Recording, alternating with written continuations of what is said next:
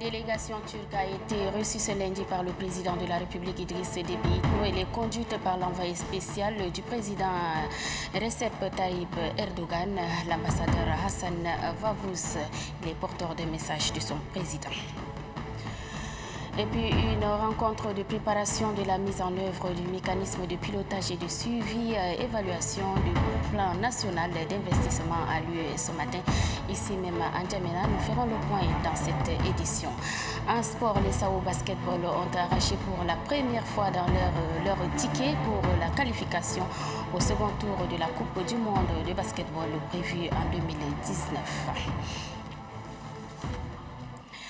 Voilà pour le sommaire, mesdames et messieurs. Bonsoir, bienvenue aux 20h. Je vous donne d'abord la teneur de ce message du président de la République adressé à son Excellence Mohamed Ould Abdelaziz, président de la République islamique de Mauritanie. Le message est ainsi libellé, Monsieur le Président et chers frères, à l'occasion de la célébration de la fête nationale commémorant l'accession à la souveraineté internationale de votre beau pays le 28 novembre 2017.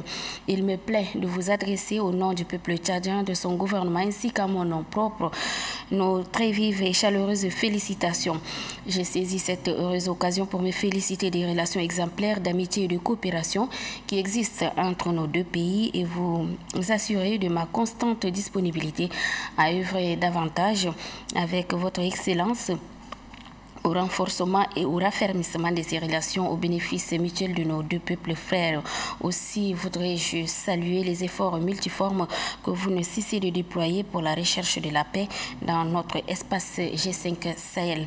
En formant mes sincères souhaits de bonne santé, de bonheur et de paix pour vous-même et au peuple mauritanien tout entier, je vous prie de croire, Monsieur le Président et chers frères, en l'assurance de ma très haute et fraternelle considération. Idriss Déby, président de la République du Tchad, chef de l'État.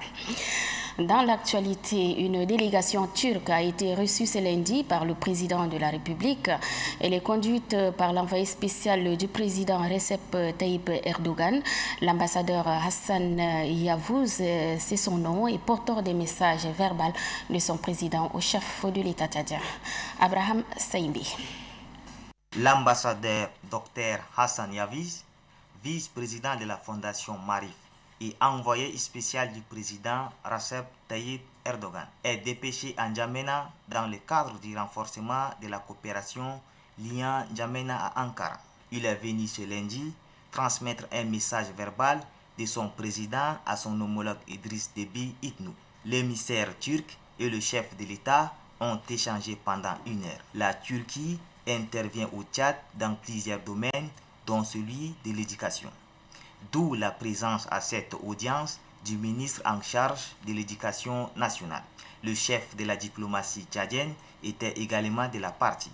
L'émissaire turc à sa sortie d'audience. La population tchad et la population turque qui sont frères depuis des siècles et aussi on porte la même couleur, la même culture et la même vision deux pays et deux nations, deux populations, jamais donné permission de poisonner le groupe terroriste armé dans le monde. Ni Daesh, ni Boko Haram, ni organisation de FETO, et ni d'autres discriminations terroristes, il ne faut pas donner une place ni au Tchad, ni en Turquie. Engagés dans la lutte contre le terrorisme, le Tchad et la Turquie envisagent de renforcer leur coopération agissant dans ces domaines précis.